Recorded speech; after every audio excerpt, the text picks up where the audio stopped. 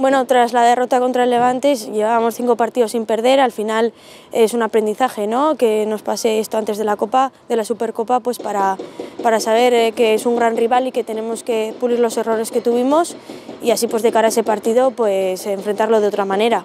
Pero el equipo está muy motivado porque la mejor manera de después de una derrota es jugar el siguiente partido y ganarlo, y más fuera de casa que son muy importantes los tres puntos. Es lo que he dicho, aparte de esta derrota llevamos cinco partidos sin perder y queremos seguir en la misma línea, volver a remontar, volver a tener victorias consecutivas y más fuera de casa, que es, es muy difícil este año conseguir tres puntos fuera de casa y además el Betis que está necesitado de ello y sabemos que va a salir a por todas y va a ser un partido complicado.